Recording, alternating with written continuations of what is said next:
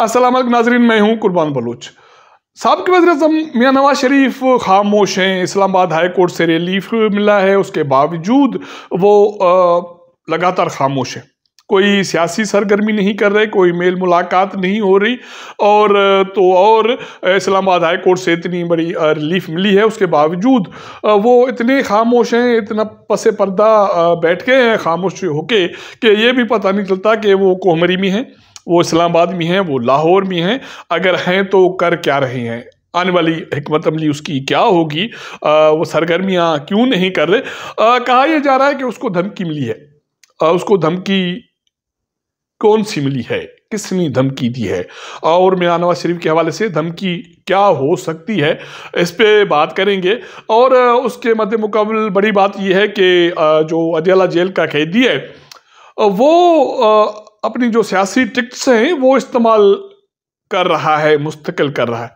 वो अपने वका, वकला के ज़रिए, वो अपने ख़ानदानी ज़राए के ज़रिए ख़बरें फ़ीड कर रहा है मीडिया को। वो उसमें जो बड़ी खबर है, वो उसके लिए, या वो जो आवाम को एक तासुर दे रही हैं कि मैं नहीं झुकने वाला और उसकी जो बड़ी बात है, वो ये है कि मैं मुल्क छोड़ने वाला नहीं, मैं मुल्क छोड़ के नहीं जाऊँगा। हालाँकि ये तो वो अलग बात है कि क्या उसको कोई ऐसी आ, कोई आफर कोई कर रहा है कोई कह भी रहा है या वो अपने तौर पर आवाम में जो हमदर्दी हासिल करने के लिए ये तासुर देने के लिए कि मैं डटा खड़ा हूँ मैं दिलेर हूँ मैं नहीं जानने वाला तो ये करके गेम कर रहे हैं। आ, तीसरा पहलू इस सियासत का। आ, वो ये है कि ये एक तासुर पैदा किया जा रहा है कि मियाँ नवाज़ शरीफ तो अपनी जगह पे मुस्लिम लीग नून ओके। पाकिस्तान पीपल्स पार्टी अभी भी वन नंबर पोजिशन में है और उसके जो सूरत हाल है वो बेहतर नहीं है। लेवल प्लेइंग फ़ील्ड के हवाले से जो इल्ज़ाम हैं, उनमें दम खम है और बड़ी बात ये हो रही है कि इन दोनों जमातों को मज़ीद साइज़ में लाने के लिए तीसरा एक फोर्स बनाया जा रहा है। उसमें वो चीज़ें बताई जा रही हैं जो सियासी तौर पर अनबिलीवेबल हैं, नाकाबिल एतबार हैं। वो ये हैं कि पीटीआई जेयूआई का मिलाप। उसमें बाकी कौन सी जो फैक्टर्स होंगे, ये तीन चीज़ें हैं जिस पे बात करेंगे। पहला नुकता हमारा कि मियाँ नवाज़ शरीफ खामोश क्यों है? ज़रा कहते हैं कि एक तासुर ये है, एक जो अफवाह है, वो ये है कि मियाँ नवाज़ शरीफ को आने से पहले ये तो कहा गया कि आ जाएँ, ये आपका मुल्क है, जो केसेस हैं, उनके हवाले से जो कानूनी सूरत हाल बनेगी, अदालती सूरत हाल बनेगी बाकी आपको डिस्टर्ब नहीं किया जाएगा। मना, ऐसे ये कहा जा सकता है कि कोई सख्ती नहीं की जाएगी। वो तो चीज़ हो गई। उससे मियाँ नवाज़ शरीफ को, उसकी जमात को नुकसान ये पहुँचा कि ये तासुर बन गया कि उसको जो मुकदर हल्के हैं, वहाँ से उसको रिलीफ मिला है। और उसके पे जो सोने का सुहागा वो ये हुआ कि तोशा खाना केस में इसाब अदालत से उसकी ज़मानत हो गई है और दस लाख के मुचलकों के एवज़, और अब वो नॉर्मली एक समात पे जाएँगे।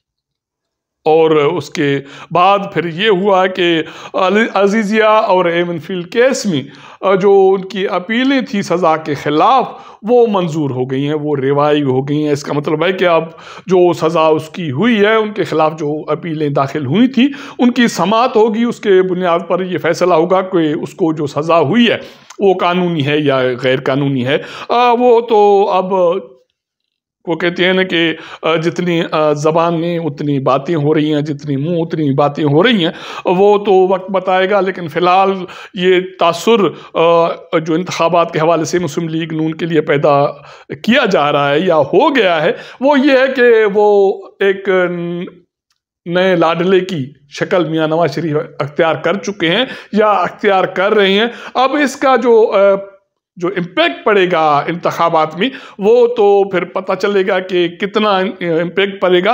क्योंकि इंतबात के हवाले से ये बातें तो आ, कही जा रही हैं कि जो मुकदर हल्के हैं या ताकतवर कुतें हैं, उनका इंतबात में एक असर रसूख तो होता है। लेकिन एक तासर ये भी है कि मैं, मुझे याद पड़ता है कि असम्बली में या किसी एक फोरम में, कोई फोरम या इस्लामाबाद में हुआ डिस्कस, इनके हवाले से कि ये जो इंतबात में जो इम्पेक्ट है बैरूनी, वो कितना हो सकता है। उसके हवाले से मुझे याद पड़ता है, वो ये था कि 20 से 30 परसेंट इम्पैक्ट बैरूनी इंतबात के टर्न ओवर पे पड़ता है। बाकी साठ से सत्तर जो फ़ीसद इम्पैक्ट है, वो जो उम्मीदवार है, वो जो जमात है, उसके जो मतदानगी है, उसके जो कुत है, उसकी जो ताकत है, उसके बलबोते पे है।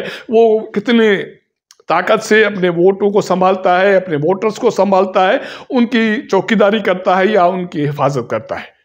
तो ये तो हो गया, ठीक है। अब, अगर मियाँ साहब लाडले भी बन जाते हैं, जो इल्ज़ाम हैं या मुस्लिम लीग बन जाती है तो उसके बावजूद जो मुकदर हल्के हैं, वो पंजाब में, मियाँ नवाज़ शरीफ की बकौल इन रिपोर्ट्स के बुनियाद पर 20 से 30 परसेंट फेवर तो हो सकती है। बाकी सेवेंटी परसेंट जो मुस्लिम लीग, नून तहरीक इंसाफ के मद्द मुकाबिल जे यू आई के मद्द मुकाबिल, पाकिस्तान पीपल्स पार्टी के लिए तो ये फ़िलहाल तासुर है कि पंजाब में उसकी कोई दाल नहीं गलने वाली, कोई दाल नहीं गली। लेकिन उसके बावजूद सबक सदर असफली जद्दारी फ़िलहाल मौजूदा हालात में खामोश बैठे हैं। और पिछले हफ़्ते से पाकिस्तान पीपल्स पार्टी के चेयरमैन बिलावल भुट्टो जरदारी भी इस्लामाबाद में बैठे हैं, लेकिन पॉलिटिक्स पे वो कोई बात नहीं कर रहे, कोई सरगर्मी नहीं हो रही तो खामोशी है। तो मैं बात कर रहा था कि मियाँ नवाज़ शरीफ को धमकी। बताते हैं कि मियाँ नवाज़ शरीफ को ये कहा गया है कि जी बिस्मिल्ला इस्लामाबाद आए, पाकिस्तान आए, लेकिन होशियार ज़रूरी है ये। जलसे जुलसों के हवाले से, बाहर निकलने के हवाले से अभी भी आपके लिए ख़तरा मौजूद हैं। तो उन खतरा को नज़रअंदाज मत कीजिएगा, रेड लाइन है, उसको क्रास मत कीजिएगा, क्योंकि आपको खदशात, ख़तरात वो हो सकता है दहशत गर्दी के हवाले से हों, वो हो सकता है कि कोई और सियासी मुखालफ रद्दमल के हवाले से हों, लेकिन ये थ्रेट मियाँ नवाज़ शरीफ को मौजूद है। और उसके बाद मेरे ख्याल में जमात ने और क़्यादत ने इस थ्रेट को संजीदा लिया है। जिसके बाद मियाँ नवाज़ शरीफ फ़िलहाल खामोश होके ये कहा जा सकता है कि दबक बैठ के बैठ के। अब छुट्टी है हफ़्ता है, कल इतवार है। हो सकता है कि इतवार, सोमवार के बाद वो सियासी तौर पे सरगर्मियाँ करें, क्योंकि ये बातें हो रही थी कि उनको मौलाना फजल रहमान से मुलाकात करनी है सबक सदर से मुलाकात करनी है, बाकी सियासी जमातों से मुलाकात करनी है, और उनका शुक्रिया भी अदा करना है, और मुस्तकबिल के हवाले से भी चीज़ें डिस्कस करनी है। लेकिन ये फैक्टर उसको इंतबात में जो जलसे जुलूस हैं, बाहर निकलना है आवाम में घुल मिल के जाना है तो ये चीज़ें किस तरह इसके लिए आसान होंगी या मुश्किल होंगी ये देखने वाली चीज़ है। और इसके मद्द मुकाबल उसका जो सियासी हरीफ है सबक वज़ी अजम कैदी अडयाला वो मुख्तलफ मैंने जैसे इंट्रो में आपको बताया कि इंडिकेटर्स दे रहे हैं, पॉजिटिव और वो ये तासर पैदा करने की कोशिश कर रहे हैं कि मैं डरने वाला नहीं, मैं झुकने वाला नहीं, मैं मुल्क नहीं छोड़ रहा हूँ। हालाँकि ये अलग बात है कि क्या किसी ने उसको ये ऑफ़र भी की, उसको ये कहा भी है कि आप मुल्क जाएँ, छोड़ के जाएँ या ना जाएँ, या उसको कोई घास ही नहीं डालता, लेकिन वो एक तासुर पैदा करने की कोशिश कर रहा है। और वो कहता है कि मौजूदा सियासी सूरत हाल जो बनी है उसका इशारा मियाँ नवाज़ शरीफ की वापसी है, मुस्लिम लीग नून की सरगर्मियाँ हैं या उसको रिलीफ मिलना है। उसके हवाले से वो दावा करते हैं कि ये लंदन प्लान का माहदे का हिस्सा है और इस माहदे के जो हिस्सेदार हैं वो बकौल उसके बुजदुल मुजरम और उसके सहूलतकार है। आ, मेरे ख्याल में आपको याद होगा कि वो साल पहले से ये बात कर रहा है कि कोई लंदन का माहिदा हो रहा है कोई इस तरह की चीज़ हो रही है। और आ, वो मौजूदा जो निज़ाम अदल है इसके हवाले से भी आ, वो कह रहा है कि जो कुछ अब हो रहा है वो निज़ाम अदल का इंतहाम है। और क्योंकि यहाँ तो बदकस्मती से यही बातें होती हैं कि अगर आपके मुखालफ को रिलीफ मिले तो ये निज़ाम अदल का इंतहाम समझा जाता है, उस पर इल्ज़ाम लगता है। अगर ये ही रिलीफ अडयाला के, उसको कैदी को मिल जाए तो ये सब कुछ ठीक है। लेकिन वो, ये भी जो पब्लिक सेम्पथी है, वो गेन कर रहे हैं कि मुझे मारने की फिर कोशिश हो सकती है, मुझे सिलो पॉइजन किया जा सकता है, पहले दो मरतबा कोशिश हुई है। लेकिन ये इसको वकला को इस्तेमाल कर रहे हैं। अपने ख़ानदानी ज़राए को इस्तेमाल कर रहे हैं ऑफ़ द रिकॉर्ड और मीडिया। अब इन चीज़ों को हाईलाइट कर रहा है। पहले नहीं हो, हो रहा था। नौ मई के बाद बिल्कुल ब्लैक आउट था लेकिन अब आस्ता आस्ता चीज़ें खिड़कियाँ खुल रही हैं। और एक बात जो आ, बात बताई जा रही है वो ये है कि एक दो नए मीडिया आउटलेट्स खुलने जा रहे हैं। लेकिन उनका जो आ, आ, बेस होगा वो पाकिस्तान नहीं होगा आउट ऑफ़ कंट्री होगा। और उसके पीछे लवाजमात कौन हैं फोर्सेस कौन हैं ये चीज़ें अभी आस्ता आस्ता खुल के आएँगी। लेकिन कहते हैं कि उस जो जो लोग किरदार अदा करेंगे वो वही होंगे जो प्रो अदर जल कैदी रहे हैं उसके इकदार में या उसके पिछले जो इतिहादी हुकूमत थी, सोलह सत्रह माह में उनका जो किरदार रहा है, प्रो कैदी, वही लोग वहाँ बैरून मुल्क बैठ के कोई नया बयाना बनाने की कोशिश करेंगे या जो कैदी के जो मुखालफ कुतें हैं उनको निशाना बनाने की कोशिश करेंगे या कुछ और भी मुख्तर हलकों के हवाले से भी ऊट पटांग बातें हो सकती हैं, ये बातें हैं। और तीसरा नुकता जैसे मैंने ज़िक्र किया, वो ये है कि पिछले हफ़्ते आपने देखा होगा कि सबक स्पीकर कौमी असम्बली असद कैसर और मुमलकत वज़ी अली मोहम्मद ख़ान ने मौलाना फजल रहमान से मुलाकात की। हालाँकि ये मुलाकात उसके खुश दामन के वफात के हवाले से तजियत के हवाले से थी, लेकिन ये तहरीक इंसाफ और जे यू आई कि सियासी मुखालफत आपको याद है कि ये बहुत ऐसे ऐसे समझे कि एक दूसरे के साथ बेर था इन दोनों जमातों का, कि कोई एक दूसरे के मुँह पे नहीं आना और एक दूसरे को बर्दाश्त नहीं करना। लेकिन फिर ये मुलाकात हो गई। उसके बाद मुख्तलिफ़ अफवाहें चल रही हैं, वो ये चल रही हैं कि ये तीसरी कुत बनाई जा रही है।